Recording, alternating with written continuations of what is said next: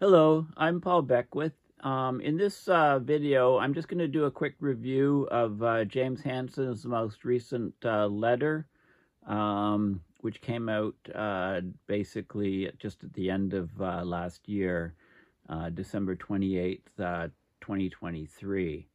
Um, okay, I don't like to miss posts from him because um, you know, he's one of the people who really understands uh, what's going on with our climate system. So this is um, from his uh, group, Climate Science Awareness Solutions.org, a group that he was involved in setting up. And so he says, young people do not underestimate your potential, aided by the scientific method to change the world's course. And um, he wrote or is in the process of writing a, a book called Sophie's Planet. Sophie is one of his grandchildren. And I'm looking forward to when it comes out. Hopefully it comes out soon, although it's been supposedly, in quotes, coming out soon uh, for, for quite a while now. So this is the um, homepage of this group, Climate Science Awareness Solutions.org. And um, their mission, basically, um, they're working to halt the global march toward catastrophic climate change by a strategy that leads as rapidly as possible to a near universal carbon fee on fossil fuels.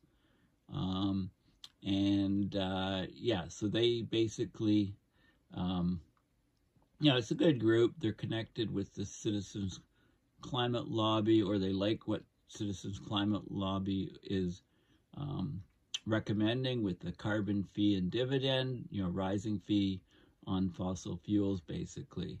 And uh, so who's involved in this? Well, Hansen himself is uh, the director or team leader. So just a quick blurb on him. He was formerly the director of the NASA Goddard Institute for Space Studies, or GISS. He's an adjunct professor at Columbia University's Earth Institute. He directs a program on climate science, awareness, and solutions. So he's trained in physics and astronomy in the space science program of Dr. James Van Allen. So, you know, the, you've probably heard of the Van Allen belts. Um, Van Allen was at the University of Iowa, so he researched uh, clouds on Venus originally. Hansen um, helped identify their composition as sulfuric acid.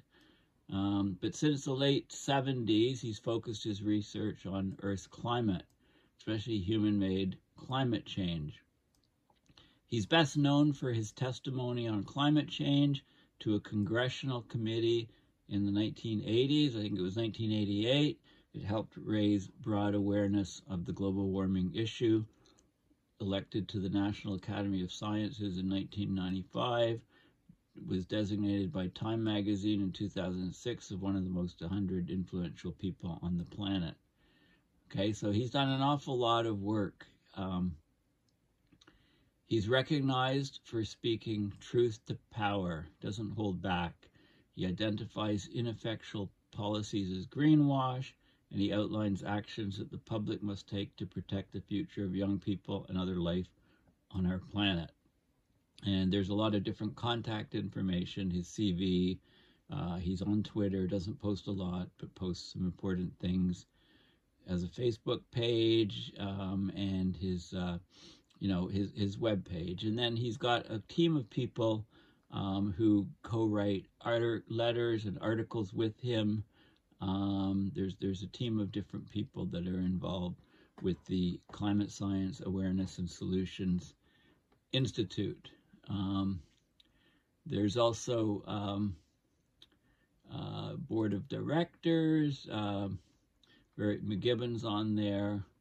Um, Jeffrey Sachs is on there. So different people from Columbia um, University. And, uh, you know, there's a good section here on climate science.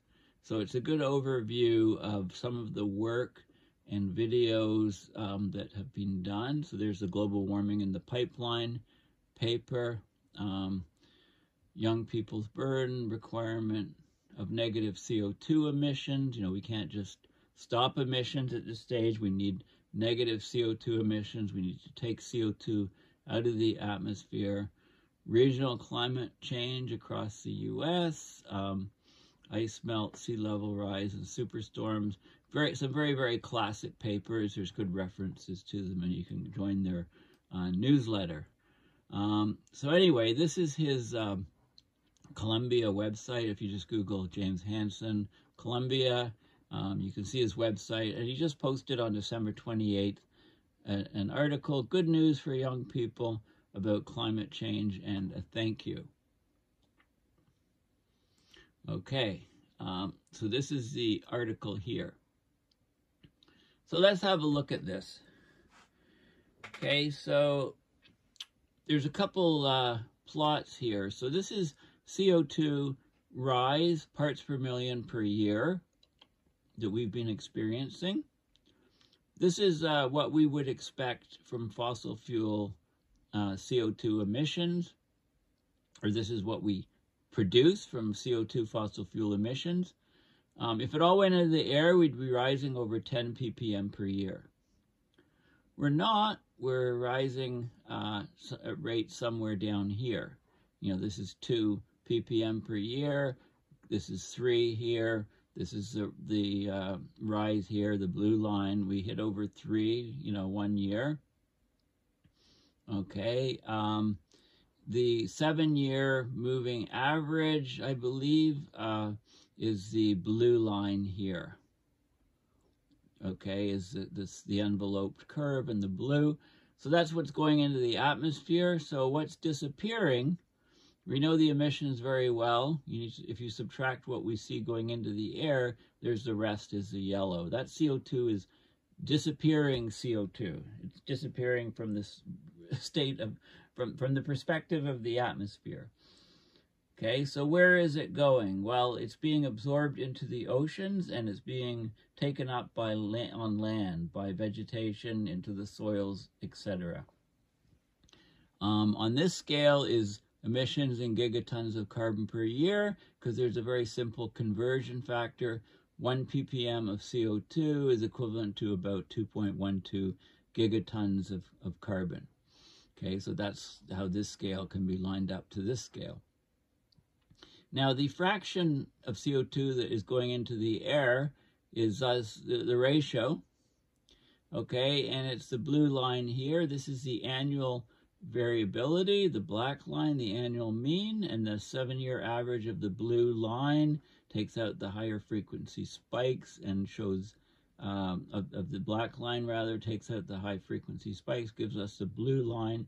And the top of the blue area is the seven year mean. And you can see that, you know, we were pushing up to 60% of, of what was emitted was being captured by the ocean and land, not going into the atmosphere.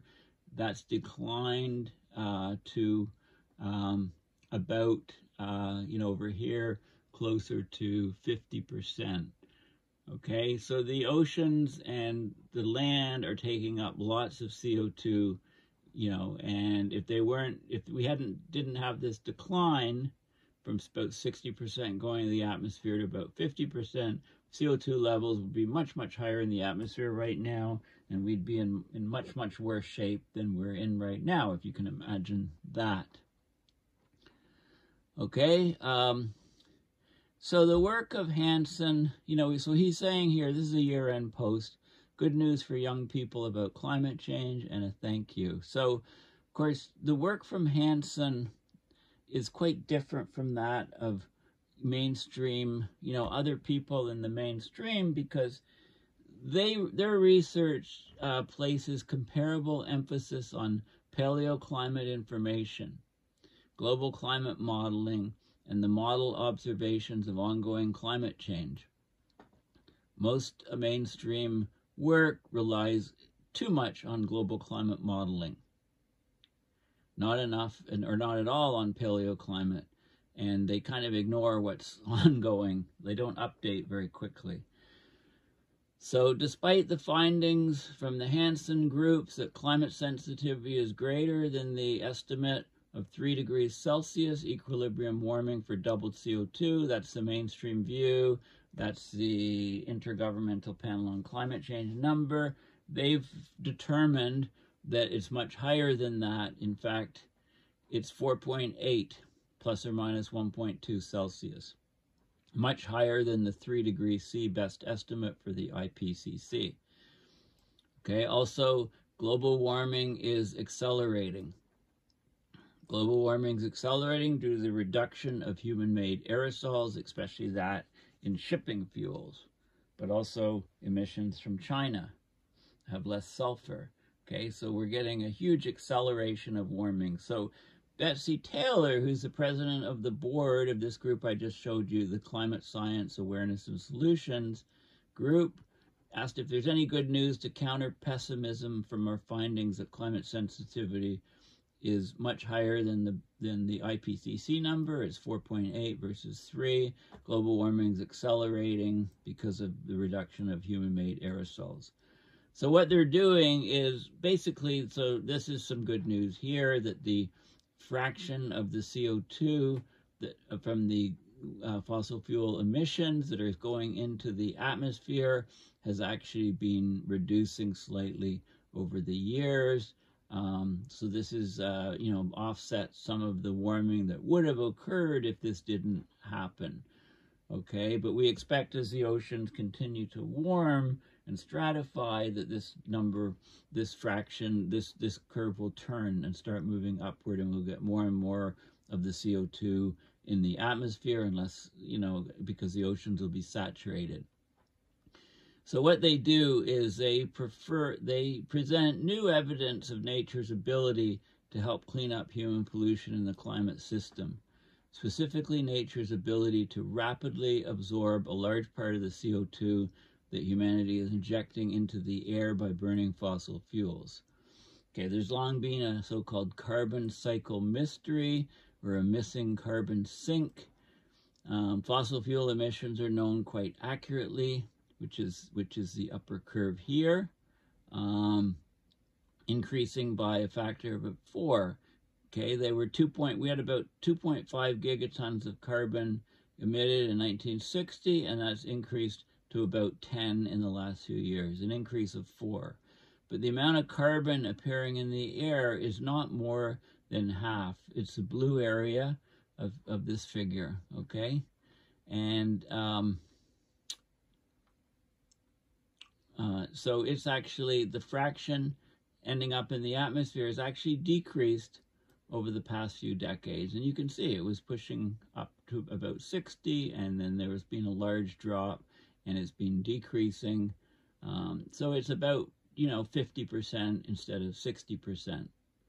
Okay, so less is going into the atmosphere. So you could argue that this is a, a good thing. This was unexpected. The problem uh, was that for this missing carbon cycle mystery, the missing carbon sink, is was that most expert estimates for the ocean and land sinks for increased atmospheric CO2 did not add up to the magnitude of the disappearing CO2, especially after estimates were included for the additional carbon source from deforestation. So there's a new paper out, which I'll discuss in a separate video. is a new paper by Wang et al. in 2023. Um, they use data-driven analysis of the carbon, oxygen, and phosphorus cycles in the ocean they account for all known export pathways for carbon, and they obtain greater advective, diffusive, downward transport of biological carbon than, than that found in more conventional global climate modeling. Okay, so it turns out that the deep ocean is taking up that missing carbon. It's the reason why the you know, there's less carbon in the air than there would be otherwise is because we more is going into the deep oceans than we thought. Um, okay, so the upshot is that the deep ocean may provide a little more help in taking up excessive atmospheric CO2 than most models have been indicating. But the conclusions are not, aren't altered in the global warming in the pipeline paper because that uses the empirical carbon cycle data. Okay, uh, this is carbon intensity. So countries are using more and more, uh, burning more and more fossil fuels, producing more and more carbon. But if you look at the energy out, if you look at the carbon intensity ratio, which is the carbon emissions per unit energy use, or it's, it's sort of an, an efficiency. You know, um, the units are um, megatons of oil equivalent. Basically, uh, the carbon intensity in megatons of carbon over megatons of oil equivalent to the carbon intensity has actually been decreasing over the years. The global average is here.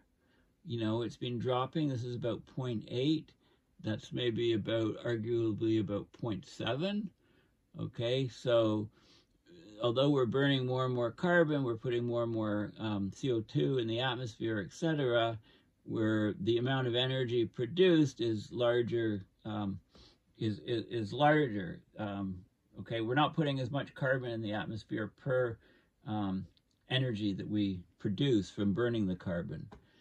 So we've made progress in reducing the carbon intensity of the energy, i.e. the carbon emissions per unit energy use. It's declined uh, from a bit less than 0.8 to a bit less than 0.7. Um, okay, so so this is good, but it's small potatoes compared to the total CO2, which is going in the atmosphere, which is what the climate cares about right? Global carbon emissions are the product of carbon intensity and energy use. Global energy use is still rising. Much of the world is in the process of raising their living standards. So, so this is a new figure which shows, it. so basically it normalizes fossil fuel emissions to 1997, the year of the Kyoto Protocol, if you recall that. Global emissions have increased about 50% since 1997. And uh, you can see these annual CO2 emissions normalized, and you can see this is globally. Uh, if we were one in 1997, we're, we're over 1.5, maybe 1.6. So we've increased uh, about 50% at least since 1997 globally. There's no sign of the very st steep increase, decrease that would be needed to keep global warming, you know, under control, basically. So you can see how the rise has been much larger in China and in India, these developing countries. This is a global average. You know, Russia's here in increase and, and many other countries are actually showing a decrease. The UK, Germany, and then uh, here's another view. Uh, you know, again, we have the global curve. It's the black curve here. And you have, um, you know, Africa is is the dark green, um, or Africa, rest of Europe, Eurasia declining, Canada, you know, gone up slightly, Australia, similar path to, to Canada. Okay, I forgot to point out the U.S. over here is actually shown a drop. Okay, um, okay, so th that's those are some sort of positive things, but they're basically you know, being outweighed uh, by, you know, the um, rapid acceleration of climate change that we're, we're seeing. So Hansen and his group, they're grateful for the unusual level of support they got in 2023. They finished the pipeline paper, a two plus year project. Um, there's going to be a paper soon, an upcoming communication on the Cenozoic analysis, which is a paleoclimate analysis, um, which is very important to, to look at, and most people don't look at that. Like I say, it's not in the, it's not in, it's not in the eyes of the policymakers. It's not being considered. They they're relying almost exclusively on on the computer modeling, which we know is incorrect. Um, of course, clouds are a huge challenge because of their role as both a climate feedback and a climate forcing right? The, the high climate sensitivity, the 4.8 plus or minus 1.2 number, Um, it implies that clouds provide a large amplifying climate feedback. But cloud changes also provide the mechanism by which aerosol changes cause a large climate forcing. So clouds are, are complicated, right? Cloud feedbacks are complicated, but but they're uh, you know they're being understood better and better. So the expectation for this year, continued unusual global warming, will provide empirical evidence of the strong acceleration of global warming. It'll become probably undeniable in the next six to six months to a year.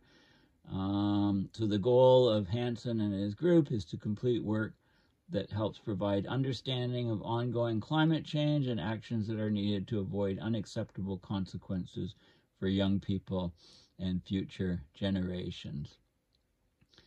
And uh, there's just a little bit here about the people working with Hansen and his group and about the CSAS group at Columbia University. Okay, with uh, some links and et cetera, et cetera.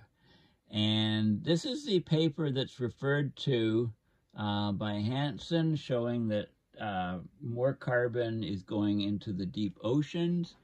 And um, I basically have that paper here, which I'll talk about separately.